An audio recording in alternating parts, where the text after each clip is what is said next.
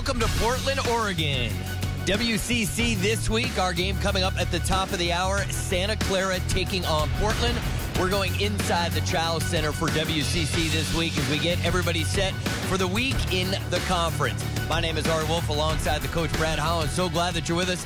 Coach, it is crunch time. It's that time of year. Teams trying to get themselves in proper position to get a good seed for the conference tournament. Indeed, and take Santa Clara, for example. They're really trying to nail down that fourth seed. I do think that BYU's probably going to end up as the third because I think they'll get 10 wins and beat LMU at the end. And then for Portland, they want to stay out of that play playoff game, which is the 8-9 play-in game. They're eighth in the conference right now, so they're working hard to get out of that game. And Portland has gotten hot of late. They've won three of their last five. As you look at the conference standings, Santa Clara in a good position to secure that bye as long as they take care of business over the final two weeks of the regular season. And Santa Clara is a team that certainly will be a threat to some of the top teams in the conference tournament. They will, and I think a win today, Ari, they pretty much solidify the fourth seed because USD is probably going to go down against Gonzaga tonight. So this is a great opportunity for the Broncos to get that first round bye. All right, let's take a look at the tail of the tape between these two programs. Clearly, Santa Clara with a far better record, and they have one of the real impact players, not only in the conference, but in the country, in Kevin Foster. Boy, what a great senior year he's having. And he is so very difficult to guard. I mean, that's the thing about Kevin Foster. You know, he can shoot the long ball. Um, he can, obviously, he's a good passer. He's averaging four assists a game this year.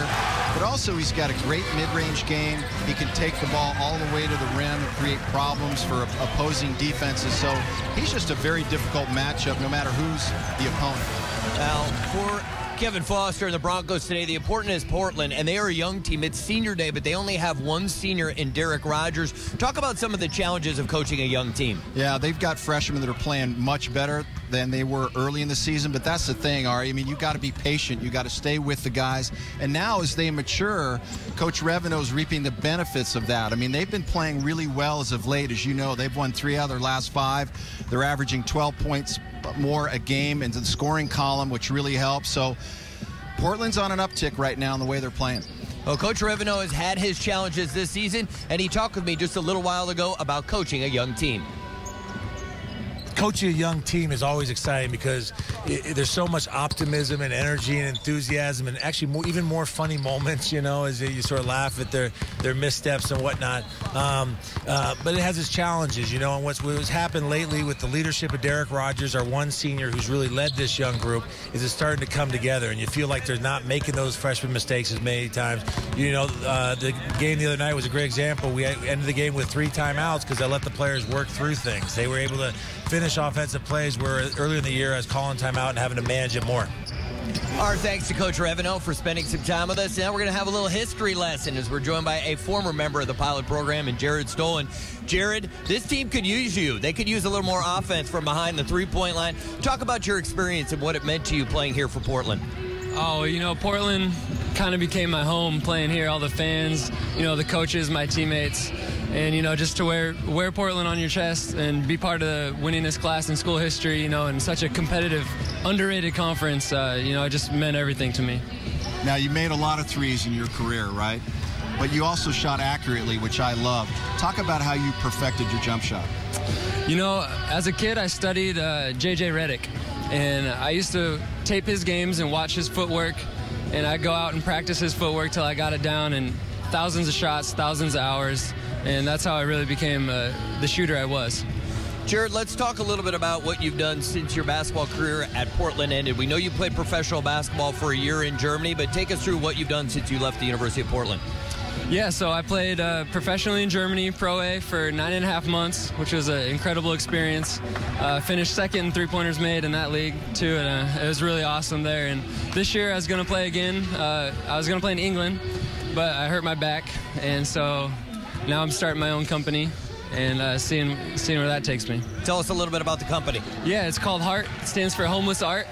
And uh, basically, I go to homeless shelters and uh, get kids to draw designs for me, put them on shirts, sell those shirts, and give back profit to the shelters and homeless kids for food, clothes, uh, events, stuff like that. So he was not only a great player, everybody, but he's doing great things in the community. Jared, we appreciate you spending some time with us, and we wish you the best of luck. Thank you. All right, we're going to take a break on WCC this week, but don't forget, coming up at the top of the hour, the WCC Game of the Week, Santa Clara and Portland. We are going to step away for a moment. When we return, Chris McGee and David Miller will be in the studio in LA. Welcome back to WCC this week in Los Angeles. I'm Chris McGee alongside the coach, Dave Miller. Hello, coach. You ready to get after a little bit? I'm ready for some WCC highlights, Chris. Let's get you to the highlights from earlier this week, starting with Wednesday night. Santa Clara taking on the number three ranked Gonzaga Bulldogs. Kelly Olynyk, he's averaging 17.9 points per game, six rebounds per game. Here he is early. Olynyk, the stock is rising. The jam. A seven-foot pickpocket. Love the elevation. Three minutes left in the half. Bulldogs up 23. Elias Harris, Mike Hart for the three. Got it. Love the dribble penetration It created the three ball. I'm loving Hart. Second half, Bulldogs, they're up big. Olynyk, he's good off the pick and roll to slam. Like Olynyk with the Statue of Liberty finish, playing like a top 15 pick in the NBA draft. Bulldogs rolling. Gary Bell Jr. from deep. Gonzaga goes on to win 85-42. After the game, Mike Hart spoke about the potential of the Zags. What's the ceiling for this Bulldog team right now? You know, I think it's I think it's as far as we want to take it. Um, I think we have all the talent in the world here, and we have you know a group of guys that love playing for each other. And so, um, you know, if we come out with the right approach every night, I think we have a good chance of beating anybody. Uh, just one game at a time, understanding that every game is the most important game. The next one, one step at a time, and come out with the energy that we did tonight. We move on. BYU Cougars taking on St. Mary's in St. Mary's. Brandon Davies had 28 points, seven rebounds the last time they played. Matthew Dellavedova leading the WCC in assists. Carlino drives the lane, throws the alley-oop to Davies. Loves to get into the paint. Davies with big target hands. 3.30 left in the half. Down three, Matthew Dellavedova from deep. He hits the three, ties it at 25. Give it up, get it back, keep it simple. The Aussie with deep range. Under seven minutes left. Dellavedova, another three. St. Mary's up six. Two minutes left in regulation. BYU down four. Look at Brandon Davies, coach. Well, he puts it on the floor. He spins middle, and he just gets it off. Looks a little bit like Antoine Jamison. 24 seconds left in regulation. BYU down three. Tyler Haws drives the lane. Great defense. St. Mary's, they would be fouled. They'd make the free throws. St. Mary's goes on to win 64 to 57. San Diego at Portland. Thomas Vandermars, one of the most improved big men in the conference, and the Pilots hosting San Diego. Less than three minutes left in the game. Portland up one. Vandermars, he's going to get the offense rebound and put it back. Well, I like the way he attacks from the short corner, getting his Earl Clark on, Lakers style. Ensuing possession, Simi, Fajemisin. Easy layup underneath, cuts the lead to one. It seems to me Simi really finds the open seam. Portland now up three. Vandermars misses, but there's Ryan Nicholas. He's a workhorse. He puts it back. You got to put a body on him. He attacks the glass. And then the dagger. Right here, Kevin Bailey off the dribble. Clutch jump shot. Pilots, the upset, 70-67. San Francisco Dons traveling down south to take on the LMU Lions. LMU with only one conference win this season. The Dons are ready. Late in the game, LMU down two. Anthony Ireland keeping his dribble alive. Tough layup. He gets it to go. Plays the game low to high. Reminds me of a poor man's Jameer Nelson. Minute left. Cole Dickerson open for three. He hits it. That ties the game at 59. Final seconds. Cody Doolin. Watch this. The nice hesitation. You're going to see two LMU defenders are going to run into each other. Turns the corner. He gets the layup. LMU has one last chance. The heave. No good. USF holds on 61-59. Let's get you to the updated standings in WCC. Number three, Gonzaga. They are rolling there, 26 and 2 overall. 13 and 0. St. Mary's at 12 and 2. BYU 9 and 5. Santa Clara 7 and 6. San Diego drops to under 500 at 6 and 7. Coach, the Zags are doing everything right as they push for a top seed. Will they get it? Will they be out west? And what makes this team different than the other Zags teams? Well, I think undefeated in the WCC puts him right in that topic of conversation. Also being ranked number three in the nation. As I look at my four number one seeds right now, I'm looking at Indiana in the Midwest, Miami maybe in the East, Michigan State in the South, and then I would like to see the Zags in Salt Lake City as a number one seed. This is a very deep, well-balanced team. I love Pangos and Bell in the backcourt. Olynyk and Harris are an NBA-sized front line. What makes this team a little different, Chris, is that they understand time and score ebb and flow. They not only know how to close out halves, they know how to close out games. This is a team with an extremely high basketball IQ that knows how to win. You and I both feel the same way. St. Mary's can be a dangerous team if they can get into the NCAA tournament. Tournament implications today, big game against Creighton. Well, the stage has been set now that they get to see Creighton today. This would be a big test against a quality team. Matthew Dellavedova will have to have his pick and roll game on point. He's going to have to be able to split it. He's also going to have to come off and find space. He loves to get into the paint, but he's got to have a high assist, low turnover game. He's averaging 6.3 assists a game in the WCC. The neutral site losses to Pacific, Georgia Tech, hasn't helped this team. This is a big, big game. How big was it for them to beat BYU again? Well, that's that's huge. Uh, again, another good win against a top three team in the conference. Let's talk about our game coming up, Santa Clara at Portland. Big game for Santa Clara. I hate to pull out the must win, but they're coming off a loss. Gonzaga beat them by 43. This is a team that's returned five starters. They had a good start, but they've yet to beat a top three team in the WCC. They beat San Diego twice. They beat San Francisco twice, Pepperdine twice, Portland once. Santa Clara's got to come out and dominate from the get-go and somehow, some way, win this game. We're just getting started. We're coming right back. Next, we're going to introduce you to the leader of the Broncos, senior forward Marc Trasolini, back from injury and leading Santa Clara on the court and in the classroom. Let's take you back to Tuesday night. BYU and Utah State tied at 68. Time running out. Carlino's three-pointer goes off the front of the rim. Senior Craig Cusick with the rebound and putback at the buzzer gives the Cougars the win 70 to 68.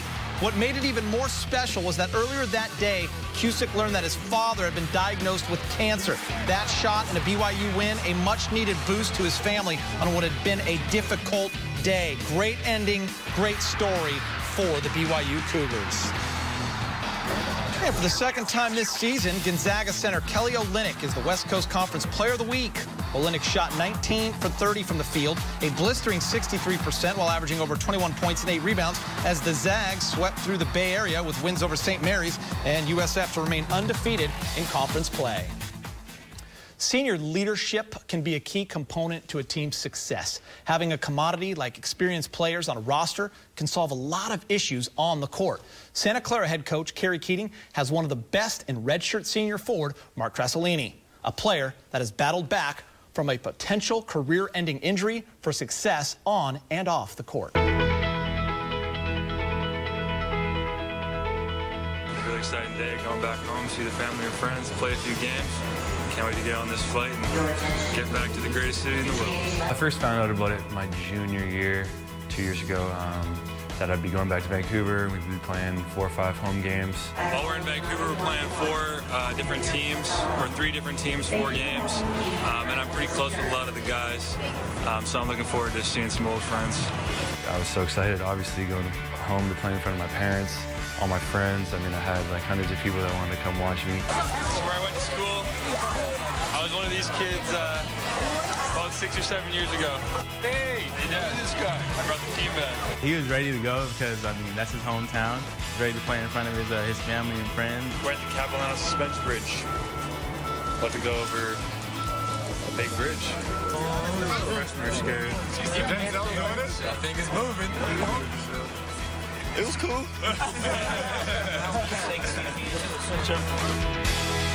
And then first game, first game in, two minutes in, um, just went down with injury. See a lot of traumatic injuries happening these these days, and obviously one that Marc went through preparing himself uh, through a long stretch to be a senior last year. Uh, go back home and play in front of his uh, his home uh, crowd and his, his uh, family and friends back in Vancouver. So I got an MRI the next day and uh, found out that I tore my ACL and my meniscus and just heartbroken. When you have a serious injury like that, you think, will I ever be the same player? Will I be able to come back? Am I going to be still playing basketball? Am I going to be able to play pro someday? Is this going to affect me in the future? You know, a lot of, a lot of questions go through your head, a lot of doubts.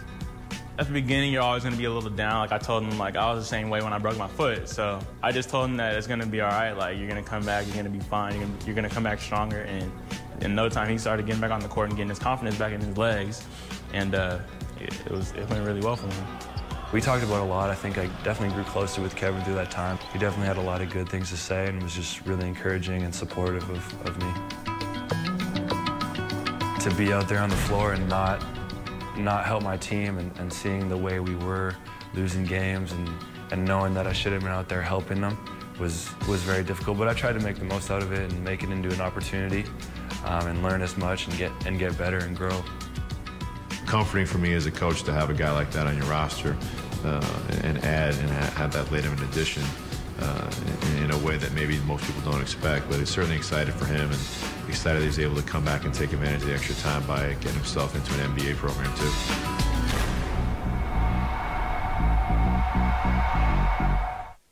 Trasolini steps into a 16-footer and rattles it home.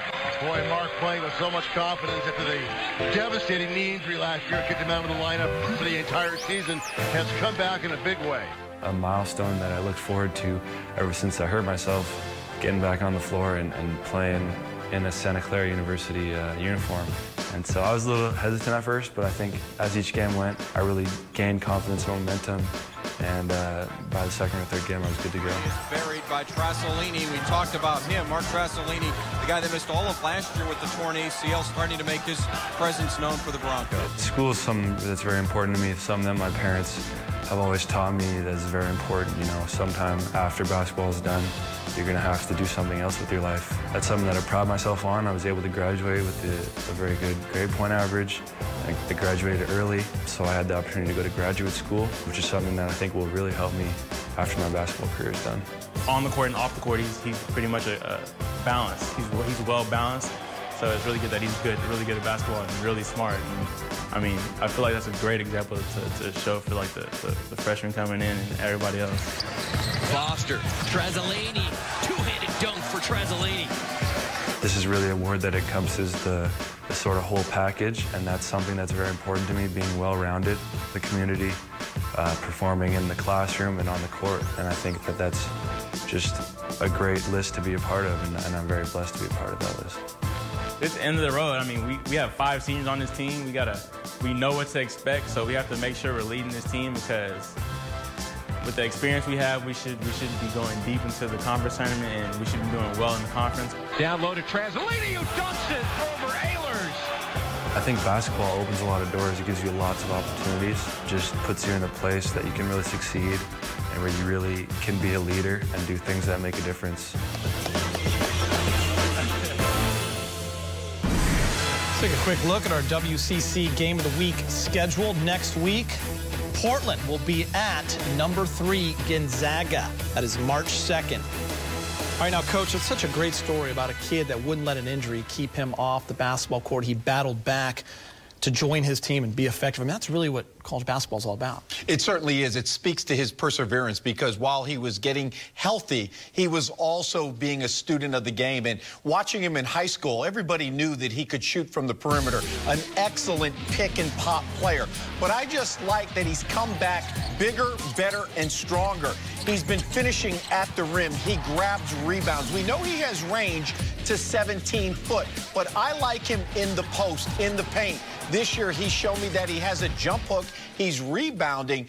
This team started out very strong, 10 and 3, and now sort of has tailored off. He's going to need a big weekend and a big finish for this team to finish the way Kerry Keating would like. Great stories every single week in the WCC. That's it for me and Coach. We'll get you back to Portland after the break.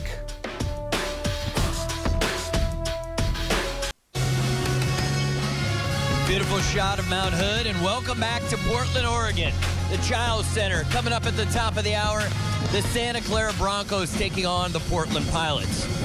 So glad you've stuck with us on WCC this week. Ari Wolf alongside the coach Brad Holland, and we're going to talk a little academics. And coach, you coached at University of San Diego for 13 years.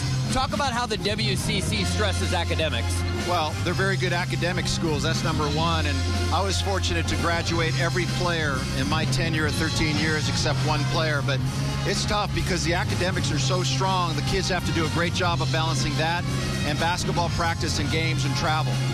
Well, the academic standards are very high, and it's led to three players in the conference being named academic All-Americans, including one of the players we'll see today, Marc Trasolini. Talk about the fact that these guys are all stars on the court and manage to be stars in the classroom. Well, I was an academic All-American myself, and I can tell you, you got to really manage your time well. So I commend these players because, again, their schools are so strong academically, it's tough to manage your time and have enough time to study and do the things you got to do that way when basketball really dominates your time during the season. Well, I had a chance to talk with Coach Keating just a few moments ago, and we talked about academics in the WCC. Well, I think it's pretty apparent in the results this year. We have three uh, academic All Americans. Uh, combined, I think four BCS conferences don't even have that number. Uh, having three in one conference, I think, speaks greatly to the strength of the importance of academics. Certainly for us, it's been a priority ever since we got here. We've uh, routinely placed guys in all district uh, academic teams.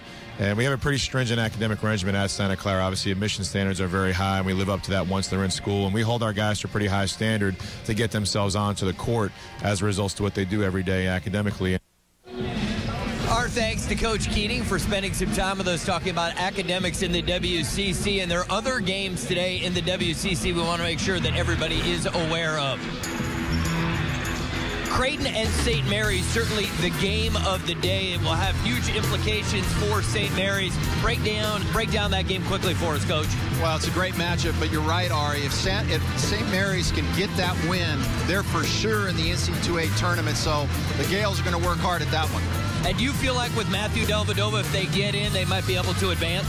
I do. I mean, they're a team you really don't want to play in the tournament. I think they can advance, yes.